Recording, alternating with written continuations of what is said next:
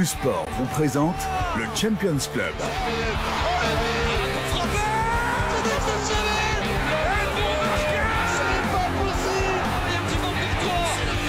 C'est le Champions Club, présenté par Vincenzo Turo.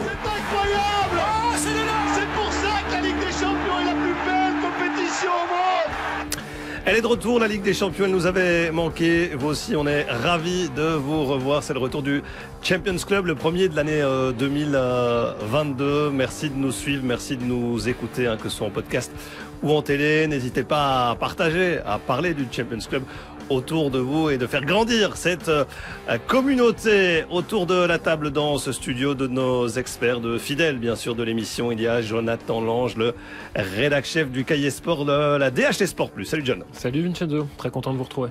Plaisir partagé. Et en face, il y a Alexandre Teclac dans ses notes, dans sa prépa. Il est fin prêt pour le début de ses huitièmes de finale. Salut Alex. J'ai intérêt, hein, j'ai intérêt à être prêt. Hein. C'est une semaine importante, hein, Vincenzo. Donc Ah, salut, oui. salut à tous. Je suis euh, ravi de vous avoir autour de moi ce jour de Saint-Valentin, mes deux Valentines du jour. Euh, messieurs, euh, c'est vrai que c'est une bonne habitude qu'on a pris au fil des, des années. Vous vous rappelez du 14 février 2018 ou pas? Alex, John. Euh, PSG, Real PSG, non c'est pas ça Real PSG. Et regardez la petite archive qu'on a été ressortir. Voilà. On était bien. On était bien. 14 février 2018. Alex Teclac et son bonnet parce que visiblement il faisait froid à Madrid. Juste derrière, Jonathan Lange. Euh, C'était un réel plaisir. Ça date, hein, Alex? Ben oui, ça date. Vous verrez quand vous vous approcherez des 50 ans, ce genre de photo, ben, elle ne fait pas si plaisir que ça. Vous n'avez vous avez pas changé. Vous êtes toujours euh, aussi euh, bien physiquement, mon cher euh, Alex. L'année d'avant, nous étions déjà à Paris ensemble. Je remercie d'ailleurs, euh, comment s'appelle-t-il, Mark Zuckerberg, euh, Zuckerberg pour nous fournir tous ses souvenirs de jour en, en jour. Merci, Euh, merci. on regarde le programme de la semaine, la première semaine des huitièmes de finale de, de Ligue des Champions avec euh, que les top matchs. Mais jusqu'au bout, jusqu'à Saint-Pétersbourg, de toute manière, il y aura que de belles affiches avec PSG Real, euh, bien évidemment. Sporting Portugal City, ce sera pour mardi avec le multi-live hein, dès 20h15 en télé sur Pix plus Sport et un tout nouveau studio que vous découvrirez euh, demain soir mardi.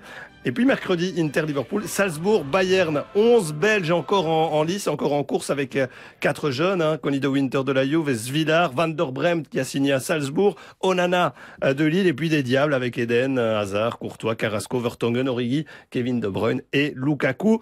Attention, c'est fini pour la règle du fameux but à l'extérieur, hein. Faut Non, pas l'oublier. C'est terminé, on n'en parle plus, donc c'est vrai que ça va complètement changer le rapport de force aussi, parce qu'on on avait toujours cette, euh, cet avantage du match retour à, à domicile, mais là c'est vrai que c'est terminé. C'est terminé, il faudra prendre ça en compte, euh, bien évidemment. On plante le décor, euh, bien sûr, de ces soirées de mardi et mercredi dans quelques instants avec nos rubriques euh, habituelles. Mais, messieurs, on va commencer par un petit coup de cœur. Je me tourne vers toi, John, l'équipe ou le joueur à suivre pour ces huitièmes de finale.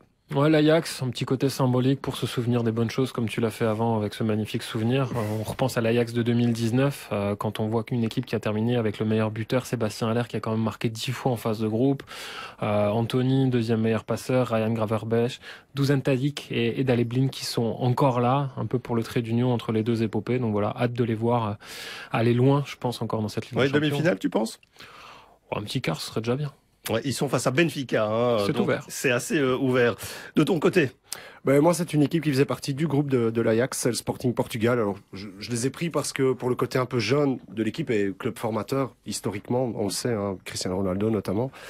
C'est pas rien de le dire, mais une petite stat, ils avaient joué contre l'Ajax à l'époque, donc c'était le 6 décembre, et deux jeunes joueurs euh, ont joué, ont participé. Le premier, Esugo, qui est, qui, qui est monté au jeu à 10 minutes de la fin, hein, son coach l'a lancé, 16 ans et 8 mois.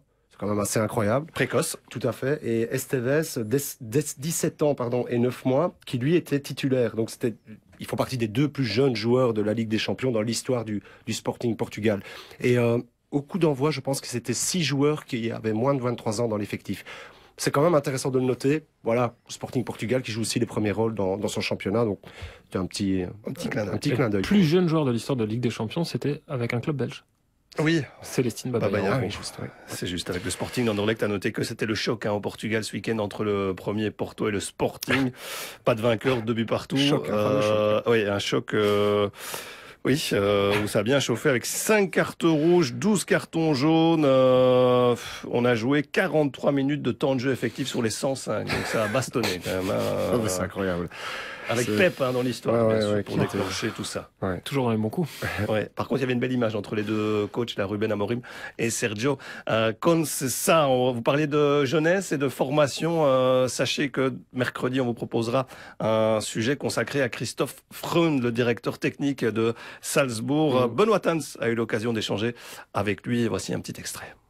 Oh, what is the specific qualities to come to Salzburg? Yeah, we are looking um, for for really mentality player. This is very important for us that they have a good character, that they want to work, um, and also special from football side. They have that they have um, really speed there, can play aggressive. They have power. We need players with power.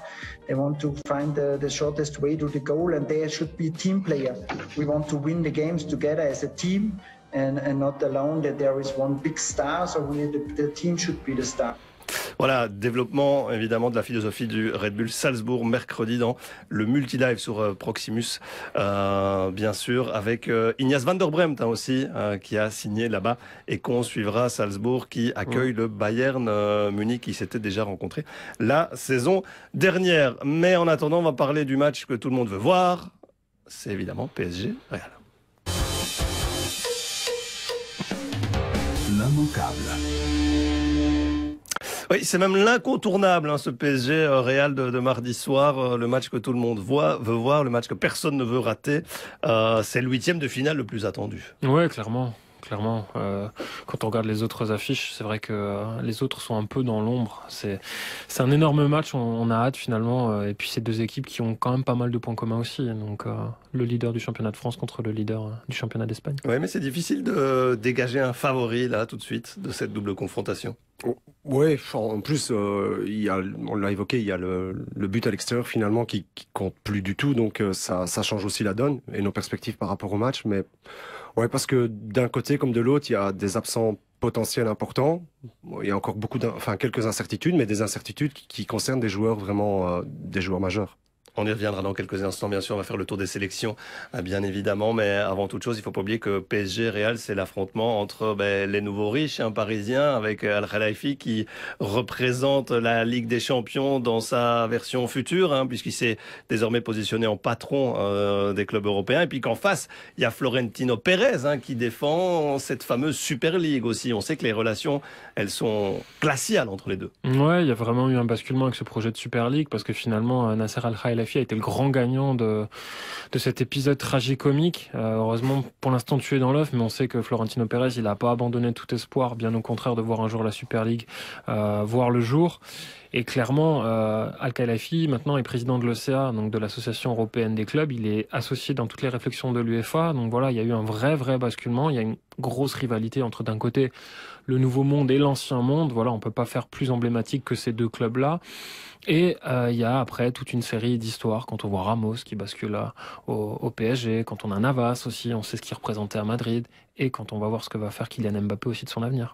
Ah oui, c'est vrai que Mbappé, c'est vraiment le lien euh, entre les deux clubs. Euh, Avant de parler des sélections, c'est vrai qu'on va toucher un mot sur Kylian Mbappé. J'ai ressorti une petite photo parce que Mbappé, le Real, ça date pas euh, d'aujourd'hui. Rappelez-vous, en 2012, il avait été invité hein, par le club, par la Casablanca. Il avait rencontré Zidane, forcément, mais aussi Cristiano Ronaldo. Ça nous avait valu cette photo qui est quand même rentrée désormais dans, l'histoire. Que va faire Kylian Mbappé hein? On sait qu'il est en fin de contrat. Alors euh, tout est toujours possible, tout est toujours ouvert. Euh, côté euh, français, on espère qu'il prolonge avec le PSG. Côté espagnol, on attend qu'une chose, qu'il signe au Real. Ouais, bien sûr, faut pas oublier qu'il y a eu quand même des offres qui sont montées jusqu'à 180 millions d'euros cet été, donc ça c'est quand même très important. Au PSG, on s'est dit, on va jouer la montre en espérant encore pouvoir le convaincre. Il y a une donne importante, Kylian Mbappé parle très peu. Il a parlé à, Jérôme Roten et dans l'équipe à l'automne. Euh, il s'est exprimé après le match contre Lille, quand le PSG est allé gagner 5-1 là-bas, une très très grosse rencontre de leur part. C'était pas forcément prévu parce qu'on sait qu'avec lui, beaucoup de choses sont calculées. Et il a dit, ma décision n'est pas prise. Fait de jouer contre le Real Madrid change beaucoup de choses. Même si je suis libre de faire ce que je veux, je vais pas aller parler avec l'adversaire. S'il y a une qualification du PSG, ça va renforcer quand même leur chance de, conserver Mbappé euh, au-delà du mois de juin. Moi, je pense que dans son évolution, ce serait logique qu'il quitte le, le PSG. Moi, selon moi, parce qu'aujourd'hui, quoi qu'on en dise, même si l'histoire est peut-être en train de, en passe de s'écrire du côté du PSG, euh, les lignes de noblesse, c'est du côté des Real qu'elles sont, ou d'autres clubs historiques. Moi, je trouverais pas ça euh, choquant qu'ils partent et que ce soit un véritable camouflet pour la direction du, du PSG, parce que Parce le- qu'il partirait libre. libre, gratuitement. Donc je, ne serais pas, je serais pas surpris. C'est vrai que ça reste ouvert. C'est vrai que, comme tu le dis, peut-être que la qualification va ou pas va, va rentrer en ligne de compte dans sa dans sa réflexion. Mais euh, quand même, quand tu mets les pieds au Real Madrid et, et Hazard peut en, témoigner, c'est c'est le plus grand club du monde. Quoi qu'on en dise, quoi qu'on en pense, qu'on mhm. soit supporter ou pas, je crois qu'on est quand même tous d'accord autour de la table pour le pour le dire. Et je pense que c'est quand même quelque chose dans la progression d'un joueur, d'un jeune joueur en plus, euh, qui est qui est à mon avis, un, un objectif légitime en soi d'aller dans ce club, de jouer dans ce club, de faire partie de l'histoire du club, comme Benzema a pu le faire. moi, je, pense, vous demandez à Benzema, avec du recul aujourd'hui, s'il aurait, il aurait préféré faire une carrière au PSG, voilà, potentiellement, ou ce qu'il a fait au Real, la question sera vite, sera, enfin, il va vite y répondre. oui, c'est vrai que c'est le rêve de tout joueur et c'est forcément aussi le rêve de Kylian Mbappé. On, en parlait il y, a, quelques instants. On, est sûr qu'il n'a pas signé d'accord euh, encore avec lui, rien à fouetter. Parce non. que ça reste particulier, hein, quand même, un double affrontement face au club qui vous convoite depuis tellement d'années. Oui, clairement, rien à fuiter. Après, euh, c'est vrai qu'il y a une donne qui est très importante avec euh, Kylian Mbappé, c'est sa volonté de marquer l'histoire du mmh. jeu en mmh. général. Et quel plus bel endroit, effectivement, que le Real Madrid pour y parvenir. Parce que c'est vrai, avec le PSG. Finalement, on peut même se dire si cette année il gagne la Ligue des Champions avec le PSG, qu'est-ce qu'il pourra faire ensuite? Créer une dynastie?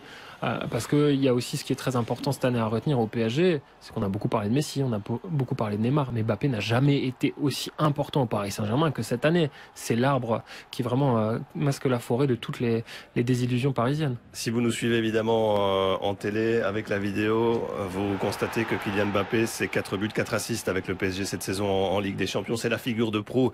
Il a dépassé quelque part et Messi et, Neymar, même si Messi est le meilleur buteur du club en Ligue des Champions cette saison.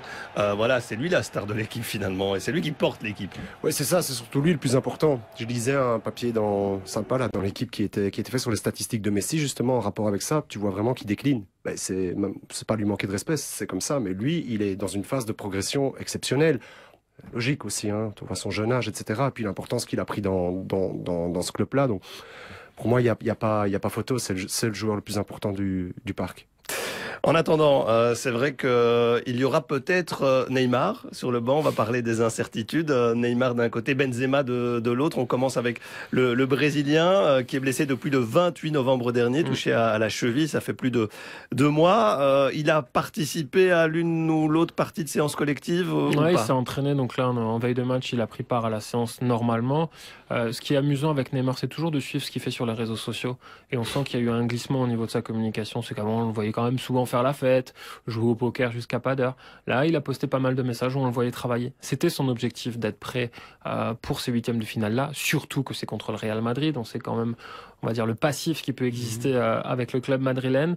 Donc voilà, il sera sans doute sur le banc. Après, il y a un match retour aussi qui arrive, même s'il y a plus ce, but à l'extérieur qui compte double. Mais euh, dans trois semaines, il, aura eu déjà du temps de jeu. Mais c'est clair qu'il sera pas titulaire, sûrement pas. Mais peut-être que sur une séquence en fin de match, il pourrait apporter, même si relancer un joueur euh, après autant d'absence dans un match avec une telle intensité, il y a toujours une part de risque. Oui, il faudra voir quel sera le scénario de la rencontre. Bien évidemment, il pourra quand même grappiller quelques minutes euh, par-ci par-là euh, déjà euh, au Parc des Princes. En face, il y a Benzema, Benzema qui veut jouer, hein, qu'on a retapé évidemment pour ce match-là.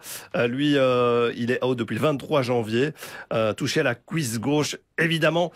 Sans lui, c'est pas tout à fait la même chose. On parlait d'Mbappé comme star du, PSG, mais c'est Benzema, la, star du Real. C'est 24 buts en 28 matchs. Alex, mhm. il est monstrueux. Oui, et puis c'est vrai que ça change un peu la donne parce que euh, les, les, accrochages qu'a eu le Real sur son mois de janvier, je pense qu'ils ont, ils ont été battus par euh, l'Athletic Bilbao. Ils ont perdu deux matchs. Ils ont, perdu, ouais, ils ont perdu deux matchs. Et c'est deux matchs, je pense, où euh, voilà, on n'avait pas, on n'avait pas pu compter sur lui. En tout cas, sur ces matchs-là, moi je pense qu'il est surtout important, c'est pour euh, pour les circuits de passe, pour sortir les ballons dans cette équipe. Et quand il est pas là, c'est pas c'est pas la même chose. On connaît son rôle, etc. Au-delà de sa capacité de marquer des buts, euh, Jonathan, pour moi il y a aussi sa capacité à participer à la construction du jeu, à être un joueur de plus qui sait absorber la pression. Et ça, c'est super important quand tu joues contre une équipe, euh, voilà, comme le, comme le, comme le PSG, selon moi, et un huitième de finale, euh, pareil. C'est, quand même très différent aussi l'association qu'il a, qui vous maintenant avec Vinicius. Ça change quand même complètement la donne euh, si, si, si son absence était, était confirmée. Il suffit de voir le match de Vinicius contre Villarreal ce week-end. Il, est, il a été orphelin de Benzema. Benzema, c'est un buteur. Tu as, eu raison d'insister sur ses stats quand même. 24 buts en 28 matchs, c'est énorme. Il y a ses 9 passes décisives aussi. Mais Benzema n'est pas qu'un buteur. C'est ça qui est fort avec lui et c'est ça qui le rend hyper, hyper complet. C'est aussi un créateur. C'est quel... un joueur qui a révolutionné le poste, qui est entre un 9 et un 10. Franchement, il est, à, il est à son zénith. Après, je pense qu'il y a aussi une petite part de bluff euh, qui est entretenue euh, côté madrilène. Oui, euh, on nous annonce dans les journaux espagnols qu'il a participé à la séance collective en partie et puis qu'il a terminé seul. Mhm. voilà, il, devrait être du voyage, il devrait être titulaire. On utilise quand même le, conditionnel. Après, ils ont trouvé un autre numéro 9, hein, puisque Bale a fait son grand retour week-end. Il est passé quand même euh, tout près de marquer à plusieurs reprises. Il n'est plus joué depuis le 28 août. Hein, c'est incroyable. On l'a ressorti du frigo, du congélateur quasiment, là, Gareth Bale. Ouais, il était sur les greens de golf peut-être. Moi j'étais surpris, franchement. J'étais assez surpris. Je me suis dit, tiens, ok, c'est vrai que comme contre-attaquant, c'est potentiellement, c'est un des meilleurs au monde. Il a une qualité euh, assez exceptionnelle comme contre-attaquant. Bon, maintenant, sur son état de forme, grand point d'interrogation, hein, et sur le rythme surtout. Verra-t-on Eden Hazard? Ça, c'est aussi la, grande question. Ben là, euh, finalement, euh, on a quasiment la réponse, hein, puisqu'il glisse de plus en plus, malheureusement pour lui, dans la hiérarchie. On parlait de troisième, de quatrième, de cinquième. Maintenant, c'est peut-être le sixième choix dans le secteur offensif. Ouais, après, euh, s'il avait fallu le faire jouer en pointe contre Villarreal, je pense que ça aurait été vraiment n'importe quoi. pour avoir discuté avec Torgan Hazard la semaine dernière, il disait Eden va mieux physiquement. Il est débarrassé de, de ses douleurs, d'après ce qu'on nous dit. Maintenant, il faut voir. Eden et, euh, et le PSG, c'est une histoire aussi. C'est aussi une belle histoire, tout à flirt. Voilà, euh, il y a eu ce flirt. C'est au Parc des Princes qu'il avait été sacré champion de France et le lendemain, il avait été le meilleur joueur de Ligue 1. Et on se souvient aussi que c'est contre le PSG finalement que sa carrière a basculé dans le mauvais sens avec le tacle de Thomas Meunier. Donc, euh, donc voilà, sans doute sur un bout de match, encore une fois. mais c'est vrai qu'avec Eden, en, ce moment, c'est toujours le même refrain qu'on entonne malheureusement et c'est pas très très réjouissant. Ouais, est-ce qu'il correspond finalement au style d'Ancelotti Ou au style qu'Ancelotti veut donner à son Real Madrid? Il y a deux ans, oui. Aujourd'hui, moins. Voilà, parce que Vinicius a clairement pris le, pas sur lui, c'est tout. C'est le gros problème d'Eden, même s'il arrive à retrouver, et on lui souhaite, euh, euh, un état de forme optimal, le, souci, c'est qu'aujourd'hui, Vinicius s'est quand même installé dans cette équipe. Et donc, euh, Oui, Alex, sauf qu'il n'y a pas que Vinicius, il y a Rodrigo, il y a Asensio, Isco, euh, même. vous savez, quand j'ai vu qu'à un moment donné, euh, Asensio, pardon, Isco non, Ancelotti faisait jouer, a fait jouer Eden Hazard, non, c'est parce que j'avais Asensio en tête, qui joue sur le côté droit, qu'il le faisait jouer même à droite. Je me suis dit, ah, son statut, là, il a clairement bougé, parce que tu fais pas ça normalement. On n'aurait jamais imaginé ça à Chelsea, par exemple, avec Conte. C'était juste inimaginable. Ça, c'est des signes malheureusement qui sont un peu révélateurs. Euh, voilà, toutes les stars évidemment, on va pas euh, débattre euh, des gardiens parce qu'il y a pas mal de choses à dire entre Courtois d'un côté, Navas, Donnarumma de l'autre qui va jouer côté parisien. Je veux juste avoir votre avis sur le, le, type de rencontre pour la manche aller. On, devrait assister à quel, attentiste. quel genre de match? Attentiste ouais. Ouais, ouais, attentiste parce que ce sont deux équipes qui ont des forces comparables dans le jeu de transition en fait. Elles excellent là-dedans avec des joueurs qui vont très vite, que ce soit Vinicius ou Bappé. Donc je pense qu'on se craint énormément. Ce sera sans Ramos hein, aussi, hein, d'ailleurs, pour, euh, pour le lien entre le, le, Real et le PSG. C'est vrai qu'il y en a pas mal. On a évoqué Navas, on aurait pu parler d'Akimi aussi, d'ailleurs, entre parenthèses. Bref, on y reviendra sur ce PSG, un Real en ouverture de euh, Ligue des Champions. On va évoquer maintenant le cas de Kevin De Bruyne. Noir, jaune, rouge. Oui, la première question qu'on se pose, c'est où en est-il? Parce que ce week-end, il n'a pas joué face à Norwich. Pep Guardiola l'a préservé pour ce déplacement au Sporting Portugal? Je pense que Pep Guardiola, il a construit sa saison sur la Ligue des Champions. Il a vraiment calqué là-dessus. En championnat, ils sont, euh, ils sont devant, ils seront champions. 9 points d'avance, oui. Sauf cataclysme majeur, euh, même si Liverpool a encore un match en retard. C'est juste. Mais clairement, euh, il est préparé pour ça et on, gère les temps de jeu de cette manière-là. Donc, donc voilà, je regardais, il a quand même le 11e temps de jeu de l'équipe, mais c'est le joueur le qui est le, plus décisif derrière Mares, derrière Sterling et derrière Jesus. Donc euh, il a 8 buts et 6 passes décisives. Franchement, il y va tranquillement et euh, il sera prêt, je pense, au, bon moment. Il a pleinement récupéré d'un point de vue physique d'abord, même s'il a été touché par le, le Covid, et puis d'un point de vue footballistique aussi, Alex, où on le, sent euh, finalement comme il a toujours été, hein, le cerveau de l'équipe, dans son passing, dans ses courses également. Oui, et puis ce qui a permis un peu de le préserver quand même, c'est que euh, contrairement à beaucoup d'autres euh, équipes anglaises en particulier, City n'a presque pas eu de cas de Covid, enfin très peu de cas de Covid par rapport à l'épidémie qui à un moment donné a, a touché l'Angleterre et la Première Ligue, et surtout très peu de blessés par rapport aux, saisons précédentes. Donc ça veut dire aussi que si tu as moins de blessés, ben, tu peux répartir le temps de jeu parmi noyau. Et je pense qu'il en a fait vraiment partie. Et ça, Guardiola, je sais pas si c'est de la chance ou si c'est de la gestion, un petit peu des deux sans doute, c'est quelque chose d'important pour euh, De Bruyne, qui, on le rappelle, c'est souvent plein d'avoir aussi euh, parfois trop de minutes dans les jambes, etc., avec euh, les calendriers. Bon, pas la peine de revenir là-dessus. Et ici, ils vont peut-être, ils vont le récupérer au moment le plus important. Et d'autant plus qu'il a pu déconnecter hein, lors de ce fameux week-end là où les grands championnats étaient à, l'arrêt. Il est parti en vacances aussi avec sa petite famille, donc ça, sans doute, ça lui a fait du bien. Il a fait le plein de vitamine D, il en a bien besoin euh, aussi, euh, Kevin De Bruyne. Euh, par contre, ses stats en Ligue des Champions, je regardais, c'est un maigre assist quand même. C'était à Bruges. Mmh. Il a été seulement quatre fois titulaire aussi. 60% de temps de jeu. Hein. C'est pas énorme, donc on l'attend là maintenant, hein, quand même. Même si vous allez me dire face au Sporting Portugal, ils ont l'avantage sur papier, ils partent favoris, mais on l'attend maintenant quand même dans ces grands rendez-vous. Ouais, mais comme toutes les stars, et je trouve que c'est ça qui est inquiétant pour le reste de l'Europe finalement. C'est que Manchester City s'est érigé comme l'un des grands favoris euh, à la victoire finale sans avoir besoin finalement de son meilleur joueur. Et euh, ça, franchement, ça fait peur. Ouais, City qui a perdu deux fois en phase de poule face à Leipzig et face au PSG. Ouais, Leipzig après, c'était un match. Un peu, euh, D'accord, mais quand même. Et, Vincent, le PSG, Marc, Marc, c'est Marc qui faisait le match ce jour-là. Et ils ont été exceptionnels ce jour-là, City. Ils sont pas, ils ont, voilà, ils sont tombés sur euh, une, une, une, équipe du PSG euh, très bien organisée, mais City a été, a été exceptionnel. Ils ont été très très forts. Donc, voilà. Le joueur, le, joueur le plus déterminant de la campagne de Ligue des Champions de City jusqu'à présent? C'est difficile à dire parce que tu vas me piquer des, des arguments tout à l'heure que dans mon combat avec. Il y a une euh, bataille qui arrive, c'est vrai, pour savoir qui gagnera cette édition de la Ligue des Champions. Ce sera en fin d'émission. Euh, on va pas vendre toutes les cartouches, mais tu le sais, toi ou pas? Foden Non, c'est Cancelo, Joao Cancelo. Trois buts, deux assists. Et c'est vrai qu'il a livré une campagne européenne assez incroyable parce que c'est lui qui mettait euh, tous ces fameux ballons, la pied droit, pied gauche, euh, dans le dos de cette défense. Je l'ai dit, Kevin De Bruyne plus dix autres Belges. Bah, il n'y aura pas Carrasco tout de suite, d'une part parce qu'il a le Covid et puis parce que bah, il est suspendu.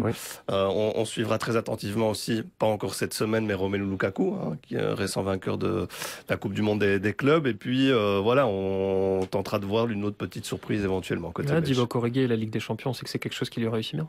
Ouais, je l'avais oublié euh, en préparant l'émission. Sincèrement, je l'avais oublié. Est-ce qu'il y a un, un Belge que tu attends en tournant ou pas? Non, pas vraiment. J'espère juste que De Bruyne sera de retour pour euh, valider mon pronostic. D'accord. Bah, on a déjà compris un petit peu où tu voulais en venir, mon cher Alex. On est parti maintenant pour la belle histoire du jour. La belle histoire. J'aime bien cette séquence, surtout avec notre compteur habituel, Jonathan Lange, qui va aujourd'hui nous parler d'un Espagnol de 22 ans, mais qui est-il? Pedro Porro, Pedro Antonio Porro Soceda, plus simplement. Pedro Porro, c'est l'histoire d'un gamin qui est né à Don Benito. Alors c'est un enfant qui vient de la région de Las Vegas Atlas, sauf que là-bas, il n'y a pas de César Palace. Désolé pour Alex Teclac, le roi du blackjack. On va arrêter avec les rimes parce que je vois Vincenzo guetter par la déprime, parce qu'il réfléchit en ce jour de Saint-Valentin à chanter son amour en alexandrin. Oh là là Pedro Porro, c'est pas une histoire drôle, c'est juste une drôle d'histoire et de famille. Comme souvent, c'est celle d'un gamin qui commence par le futsal puis qui rejoint le club local, le Gymnastico, toujours accompagné par son clan, par ses parents et ses oncles, capables de dormir dans la voiture pour aller le voir jouer des tournois un peu partout. Par son grand-père, Antonio aussi, qui selon la légende n'aurait raté aucun des matchs de son petit-fils. Et ça c'est beau. Alors forcément, quand le Rayo Vallecano déniche cet ailier qui affole tout le monde, le passage vers la capitale n'est pas simple. Pedro a 16 ans, il se blesse, il souffre, mais il ne lâche pas. Il continue à rendre fou les défenseurs et aussi les recruteurs. Le Real Madrid, l'Atlético Madrid, Villarreal, le Bayern s'intéressent à lui. Mais lui, il choisit qui? Il choisit Riron. Parce que le projet est plus intéressant et que le club a confiance en moi. Derrière les mots, il y a les actes. Et Poro commence d'abord en équipe première, avec, avant ses premiers pas en réserve, où il fait ses armes en 2017-2018. Il était suivant, le latéral droit découvre la Liga et pour son deuxième match, il éteint un certain Gareth Bale. L'été d'après, en 2019, Manchester City, grand frère de Rijon, flaire le bon coup. 15 millions d'euros de transfert, un passage éclair en Angleterre, puis des prêts. Hésitant, à Valladolid, franchement concluant depuis 2020 au Sporting. Pour rafle tout, défenseur du mois tout l'automne dans l'équipe type de l'année, surtout champion du Portugal. Il est même appelé en sélection espagnole. Et Manchester City dans tout ça il en rigole. J'ai jamais parlé à Guardiola. Je suis même pas sûr qu'il sait qu'ils m'ont acheté, mais ils doivent être attentifs à ce que je fais. On prend les paris. Pep sera très attentif à ce que va faire Poro en huitième de finale. Ah, à mon avis, il le connaît, ça c'est sûr et certain. Hein, désormais, euh, oui, quelle trajectoire de, de folie hein, quand même. Euh, surtout quand vous choisissez Riron, alors que tu as tous les grands clubs là espagnols qui sont euh, à ta porte. Et, voilà, il va jouer City, hein, le, club auquel il appartient. et ça, c'est la réalité du monde d'aujourd'hui dans certains coins de la Belgique. Pedro Poro, ce n'en est pas un. Un poro. Voilà. Alors, on est parti. on est parti pour le quiz du jour, le premier quiz de l'année. On verra si les consultants euh, bah, ont repris un peu de J'y poil de la crois bête. absolument euh, pas. Non, mais je n'y crois pas. non plus. Allez. Allez, un On quiz y va. spécial huitième de finale. Oui. Ah, quel, d'accord. quel est le joueur qui a joué le plus de matchs de huitième de finale en Ligue des Champions? Lionel Messi. Non. Cristiano Ronaldo. Voilà, 34, 1-0. Ouais, c'était l'un ou l'autre. hein. Quel est le joueur qui a marqué le plus de buts en huitième de finale? Lionel Messi. 29 en 32 matchs. Alex Teclac a le droit de jouer aussi. Ouvrez le micro d'Alex Teclac, là. Quel club a joué le plus de huitièmes de finale Je pars ça. Attention, réduction du score. de- Quel club a marqué le plus de fois en huitième de finale Le Bayern. 3-1. Et quel club détient le record d'élimination à ce stade Porto Benfica Non, Les équipes qui sont tout le temps. c'est en Angleterre. Euh, City. United Non. Un club de loser un peu. C'est. Arsenal. Ah, bravo. Ah oui, oui, c'est juste. Là, il fallait voir. juste. euh, il fallait. C'est juste. Il Rappel fallait- du score final 4-1. Euh, Merci. bah, J'ai j'ai sauvé l'honneur, je suis content. C'est déjà bien. J'aurais pu sauver 5-0. En attendant, concentre-toi parce que désormais, c'est l'heure de la causerie, le retour de cette séquence attendue puisqu'Alex Teclac va se transformer en entraîneur de Ligue des Champions. J'ai une minute, c'est ça, à peine. Attends, on va, attends. La causerie. Non, tu as un peu plus d'une minute. Non, mais, ça devrait suffire. Je vais euh, évoquer. euh, voilà, les Attends, forces et on va présenter aujourd'hui Alex. Teclac et Simone Inzaghi. Bon, il n'a pas mis son costume cravate à l'italienne, mais il se met dans la peau, néanmoins, de Simone Inzaghi, l'entraîneur de l'Inter. Ça fait dix ans que l'Inter attendait de disputer les huitièmes de finale de Ligue des Champions. On est dans le vestiaire interiste, dans le Giuseppe Meazza. on y va, Alex Simone. Alors, présentation de l'adversaire, les gars, d'abord. C'est une équipe donc qui, euh, qui presse très très haut et très très fort, les gars. On le sait avec Salah, Firmino, Mané, Jota. On verra, on verra ce qu'ils nous laisseront, euh, ce qu'ils mettront sur la, la, la feuille de match. Et donc pour éviter cette pression, on va utiliser un petit peu comme l'entraîneur précédent le faisait d'ailleurs. Ça, je crois pas qu'il va le dire, mais c'est pas grave, je le dis quand même. on va utiliser la- l'absorption de ces trois joueurs-là par du jeu court et ensuite euh, aller chercher euh, Martinez ou Dzeko pour la créer de l'espace. Et je pense que de là, on pourra, on pourra attaquer. On va éviter les constructions un peu euh, de l'arrière trop, trop prévisibles parce que dans le contre-pressing, on a, on, a, on a peu de chances de pouvoir, euh, de pouvoir s'en sortir. C'est une équipe qui est, qui est capable de, de, de, de pouvoir se créer des occasions elle-même sur ce contre-pressing. Très important le rôle de, de Brozovic, qui va, être, qui va être prépondérant pour sortir les ballons. Je pense que dans le, le rôle de pivot que tu vas avoir, ce sera, ce sera une des clés de ce match. À toi aussi d'être capable de résister à la pression. Peut-être Fabinho Henderson dans, sa, dans ta zone. Et là, il faudra vraiment le concours euh, de, toute l'équipe pour pouvoir le protéger en cas de perte de balle. Autre chose qu'il faudra exploiter aussi au niveau de leur faiblesse, c'est le dos de Matip et la distance qui sépare Matip d'Arnold. Je pense que là, on a quelque chose à faire avec Perisic. Tout comme de l'autre côté, euh, Dumfries pourra faire la différence dans le dos de Robertson. Une équipe qui joue avec des latéraux très très hauts, souvent. Et là, il y a beaucoup d'espace à exploiter. Ils ont d'ailleurs eu pas mal de soucis ce week-end face à Leicester, qui pourtant n'a pas eu une possession du ballon euh, excessif, ce qui était quand même surprenant. Donc ça, je pense qu'on peut aussi prendre un, exemple là-dessus. Et alors, une dernière chose qu'il faudra absolument éviter, les gars, c'est les fautes inutiles aux alentours des 16 mètres. Parce qu'une de leurs grandes forces, évidemment, Van Dijk, Matip, jeu aérien, ils sont très très forts, autant offensivement que défensivement. Mais offensivement, on devra éviter de faire ces, ces fautes inutiles parce que ça leur donner des occasions pour rien. Donc voilà, pour le reste, les gars. Grinta Grande, grazie, mister, euh, il mister euh, Simone hein. Inzaghi, Alex Teclac, donc euh, l'Inter qui reçoit Liverpool, vous l'avez bien compris, ce sera sans Barella qui est, lui, euh, suspendu. juste, ouais, ce sera une Suspendu. donnée importante et donc... euh, Ah, il allait le mettre sur la feuille de match. Ouais, il va jouer, mais je pense non, mais il va jouer avec euh, Çalhanoğlu. Je pense, à mon avis, Vidal. Je pense. Je pense que c'est ces deux-là qui vont jouer. Je pense, on verra. On aura Voilà. la réponse euh, mercredi, mais c'est vrai que tu as raison d'insister sur les côtés parce qu'avec Perisic et Dumfries face à Robertson et Alexander Arnold, Mais là, il y a de la place, ouais. Mais après, bon, c'est tellement fort en face que c'est vraiment impressionnant, hein, franchement. Je suis pas sûr que, pourtant, Simone Inzaghi il fait un travail formidable avec l'Inter, mais je crois que malheureusement, ils sont tombés contre la mauvaise équipe en huitième de finale. Ouais. Ça va être compliqué. Liverpool 18 sur 18 hein, d'ailleurs qui était Ouais. un très très impressionnant en face de poule de Ligue des Champions. On va laisser respirer Alex le temps du débat puisque dans quelques instants je vais vous donner la question du jour. Choisis ton camp.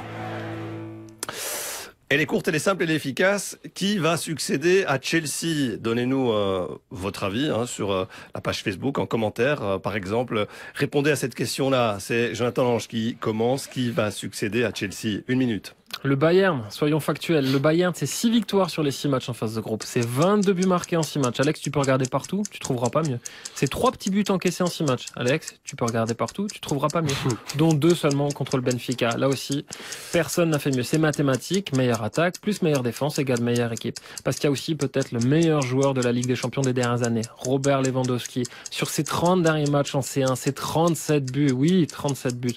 Et mauvaise nouvelle pour tout le reste de l'Europe, il n'est pas tout seul. Thomas Müller, un nom de buteur, mais un profil de passeur créateur et finisseur, et des dynamiteurs, Coman, San et Moussiala, Gnabry, et peut-être la meilleure paire de récupérateurs du plateau avec Kimmich et Goreska. N'en jetez plus, il y en a trop. Dans le tout dans un club qui est déjà champion ou presque, le tout dans un club qui a une vraie culture européenne et qui sait surtout ce que c'est de gagner la Ligue des Champions. La force de l'habitude n'a pas de prix dans ses altitudes et le Bayern, il a tout pour aller au sommet. Moins d'une minute, franchement, les arguments sont implacables. Là, je suis. Je suis battu. je suis convaincu. Est-ce que a-t-on besoin d'écouter Alex Teclac? Je ne pense sais pas. pas, surtout que je ne crois pas que City va la gagner cette.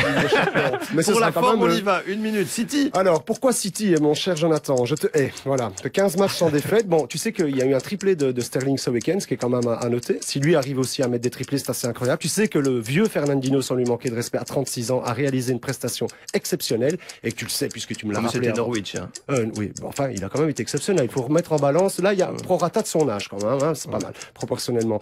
Tu sais aussi que c'est une équipe euh, qui, cette année-ci, bah, on l'attend beaucoup moins en Ligue des Champions. Ça va peut-être beaucoup plus leur convenir, effectivement. Et puis que notre Kevin De Bruyne national, qui s'est préservé, sera en forme au moment, au moment opportun.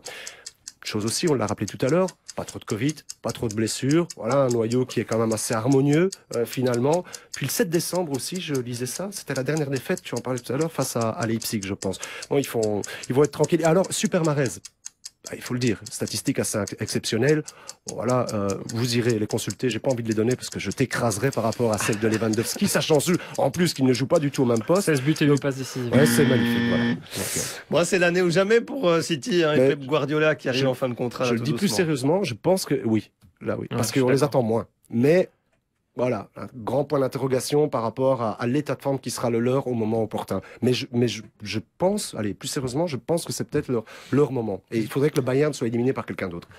Oui, on rappelle le Bayern défi Salzbourg, euh, City, Sporting Portugal. On devrait les retrouver en quart de finale déjà. Accident. hein. Normalement, oui. Et n'oublions pas le PSG, hein, qui a tout fait et qui fait tout pour la remporter, cette Ligue des Champions. Il nous reste une dernière séquence, c'est l'heure des pronos, tiens, les pronopics. Les pronos. Faut-il rappeler les statistiques de nos experts en termes de pronos Euh, Non. Je vais m'en passer parce que je les respecte énormément, mais de semaine en semaine, on fera le compte d'ici à la finale. Vous êtes d'accord Oui. Quatre matchs, quatre pronos et on fait ça dans l'ordre, messieurs. PSG Real, je vous rappelle, un X ou deux. Alex. Euh, X. Et je dis X aussi. Sporting Portugal Manchester City, un X2. 2. 2. 2 de 2, 3 fois 2. Mercredi, Inter Liverpool, un X2, John 2. 2. X. Et enfin, Salzbourg Bayern, Alex. 2. 2. Et je dis 2 aussi. Voilà. Euh, à vous de jouer également parce que je vous le rappelle, il y a plein de beaux prix à gagner. Il y a des tickets notamment pour tous ces matchs de Ligue des Champions et d'autres beaux euh, cadeaux. Vous surfez hein, sur pronopix.be, vous tentez votre chance, vous participez, et puis vous partagez, vous commentez à ce podcast du Champions League. C'était un plaisir de vous retrouver. Merci Alex. En prix, dites, dans les prix, il n'y a pas aussi euh, une rencontre avec vous en primeur, si. Hein. Il devrait, moi, je trouve qu'il devrait faire ça. Allez, on va en parler à la bien. production, mon cher. Ça serait bien. Voilà, une invitation, un petit dîner aux chandelles. Comme euh, ça, écoutez, Comme Saint- ça, on pourra faire Saint-Valentin. un, un selfie Voilà. hein, et le poster dans, et le remonter dans l'émission. Vous devriez, moi je trouve que vous devriez donner de votre personne, mon cher D'accord. euh, Vincent. vous- Voilà, vous connaissez la prod, vous ferez la, la démarche de votre côté. Merci Alex, merci John. À bientôt. Bonne semaine à toutes et tous. À bientôt. Ciao, ciao.